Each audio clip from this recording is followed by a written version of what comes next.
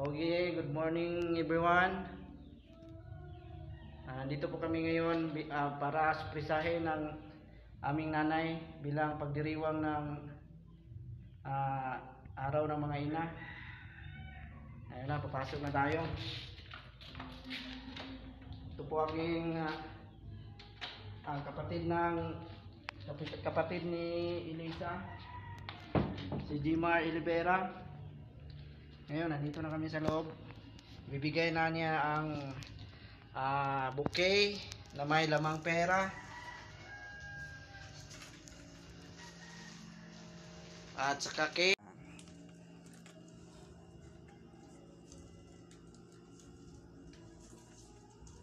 Ipa-apil lagi dengan Apil ba? Ayan. Ay, yabo-yabo na. Yabo mga bugas. Slice na nai. Slice ng cake nai. Kaon, kaon.